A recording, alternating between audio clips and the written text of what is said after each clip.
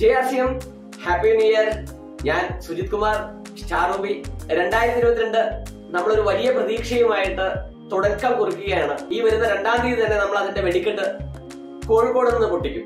J R C M ഞാൻ ക്ഷേമ Kozhikode star pearl എല്ലാവർക്കും എന്റെ ഒരു നവത്സര ആശംസകൾ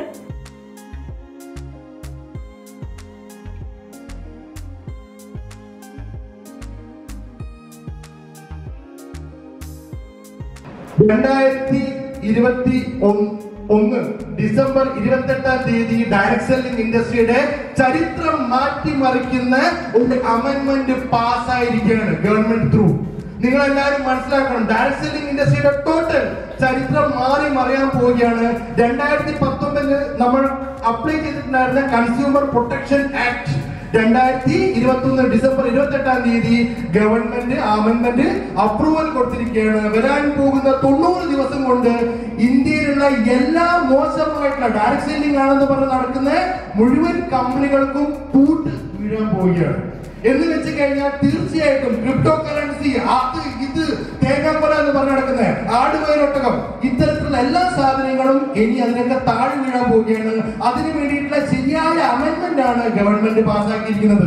ഇത് ഇത് പുതുതായിട്ട് വന്ന കാര്യമല്ല. ഇത് ആർക്കും കെട്ടിത്തെരിച്ച് നോക്കേണ്ട കാര്യമല്ല. ഇത് രണ്ടായിരത്തി പത്തൊമ്പതിൽ തന്നെ നമ്മളെ പോലെ കൃത്യമായിട്ട് കാര്യങ്ങൾ ജനങ്ങളുടെ അടുത്തേക്ക് സാധാരണക്കാർക്ക് വേണ്ടിയിട്ടുള്ള പ്രൊഡക്റ്റുകൾ കൊടുത്തുകൊണ്ട് ഇൻകം കൊടുക്കുന്ന കമ്പനികൾ കൃത്യമായിട്ട് ഗവൺമെന്റിന് കൊടുത്തിട്ടുള്ള അപേക്ഷ ഇപ്പോഴാണ് അപ്രൂവൽ ആയതെന്നേ ഉള്ളൂ. അതിനുള്ള കാരണം എന്താണ്?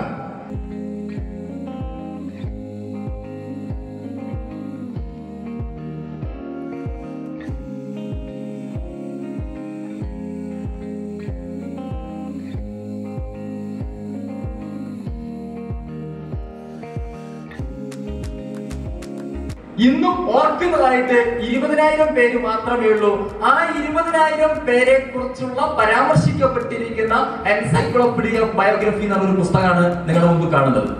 ലോകത്ത് വിജയിച്ച ആളുകളുടെ. അപ്പൊ തീർച്ചയായിട്ടും നമുക്കറിയാം ലോകത്ത് സക്സസ്ഫുൾ ആയിട്ടുള്ള ആളുകളെ കുറിച്ചുള്ള ഒരു പുസ്തകമാണ് എന്താണ് അവരെ വിജയിപ്പിച്ചത്? ഒരാളുടെ ജീവിതം അല്ലെങ്കിൽ നമുക്കൊരു ജീവിതത്തിൽ ഒരു അനുഭവം ഉണ്ടാവണമെങ്കിൽ നമ്മൾ വർഷങ്ങളോളം ജീവിക്കണം. പക്ഷെ ഒരു പുസ്തകം വായിച്ചാൽ ഒരു അനുഭവം ആ ഒരു പുസ്തകത്തിലൂടെ ഒരുപാട് വർഷങ്ങളായി ജീവിച്ച ഒരാളുടെ അനുഭവം നമുക്ക് കിട്ടും. അപ്പൊ തീർച്ചയായിട്ടും ഈ ഇരുപതിനായിരം ആളുകളെ എന്തുകൊണ്ട് മഹാന്മാരാക്കി?